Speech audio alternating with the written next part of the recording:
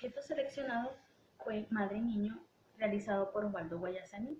Mi compañera Eugenia y yo le estaremos abordando todo lo, todo lo relacionado en cuanto al tema.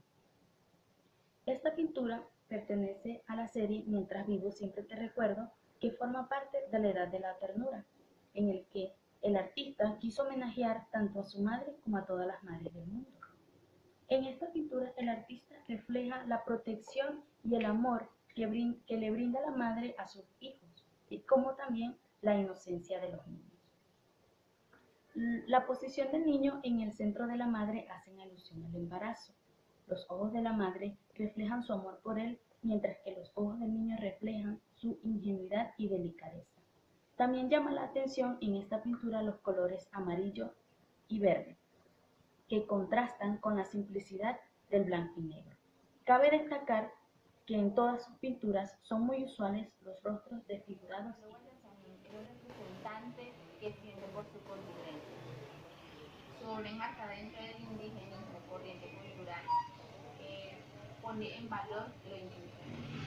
Eh, el, el, el, él creó muchas obras con Madre y Niño, como la que podemos visualizar hoy día en esta, obra tiene características indígenas y eh, podemos visualizar que ellos demuestran en esta obra el dolor y sufrimiento que han, que han vivido en nuestro continente.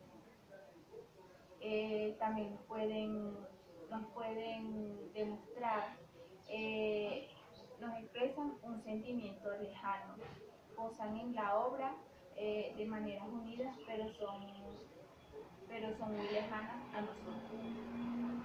En esta obra, Guayasamín se centró, ya que hizo un recorrido por su origen, ya que su padre era indígena y su madre mestiza. Y así él pudo